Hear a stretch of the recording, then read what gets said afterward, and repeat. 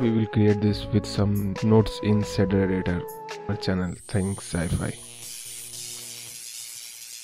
First go to the geometry node by selecting cube. Then click new and remove group input. Add icosphere by pressing shift A. Give subdivision of 5. Then add set smooth in between. Then set material. Then go to the material setting and apply some material and give it some name and select the same material in set material then go to shading and you will see the same material in shading go to the cycles select GPU and viewport maximum sampling 6 remove principled BSDF add emission by pressing shift A and connect it with material output volume.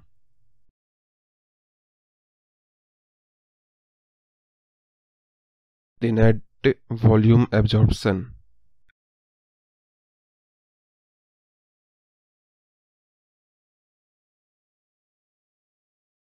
Add add shader node and connect it between emission and material output.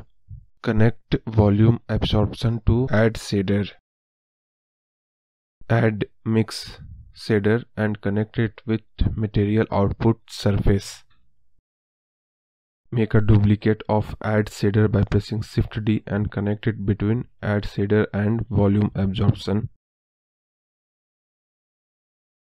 Add glossy BSDF and connect it with mix shader.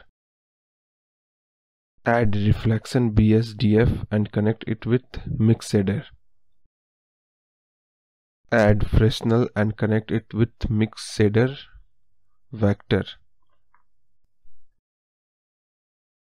Add color ramp and connect it with emission color. Increase emission strength to 5 then go to the render view to see the effect add Musgrave texture and voronoi texture make some space because we have to add volume scatter node and connect it with add shader. Give a density of 0.5 in volume scatter and 0.15 in volume absorption. Give a roughness of 0.1 in reflection BSDF and 1.6 in IOR roughness of 0.1 in glossy BSDF. Now connect Musgrave texture to color ramp and Voronoi distance to Musgrave. Select 4D in both texture. W value of 0.1 in Musgrave. Scale of 6, detail of 3, density of 0, and liquidity of 1.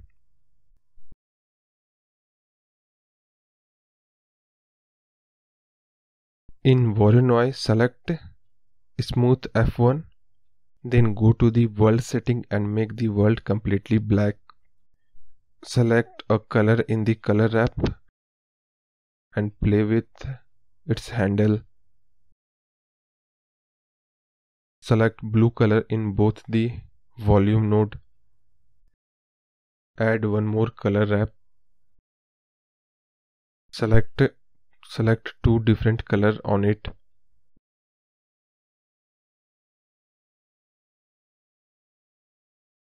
Then connect it with glossy and reflection BSDF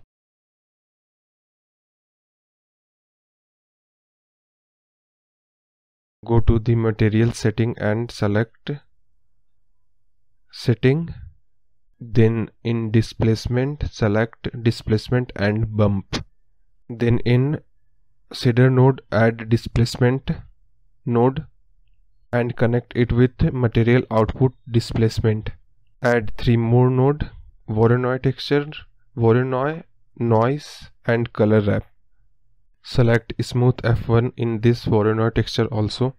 Connect it with noise texture and noise texture with color ramp and color ramp with displacement height. Make displacement mid value and scale 0.3.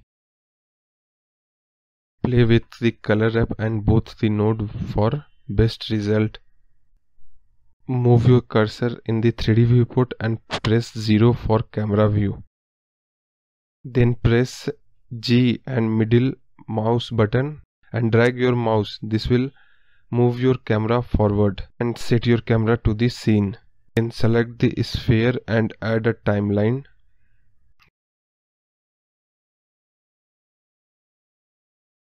Give a end frame of 150. Add frame 1. Enter the keyframe in first Voronoi texture. And go to frame 151 then give a negative value of 0.8 or 9 in Voronoi texture then again enter keyframe. This will give a beautiful movement in the volume inside the sphere which I cannot show you in cycle. Then come back to layout and add a bezier circle by pressing shift A scale it and adjust it so that Bezier circle will touch the endpoint of the camera. Press 7 for top view and 1 for front view. Press GZ to set it in Z axis.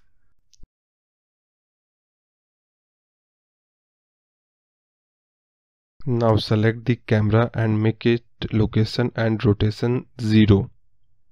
Then go to constraint setting and add follow path and track to. Select Bezier in follow path target and cube in track to target. This will lock the view of camera to the cube. At frame 1, enter keyframe in follow path offset. At frame 151, enter 100 in offset and enter keyframe. This will add a rotation animation around the cube.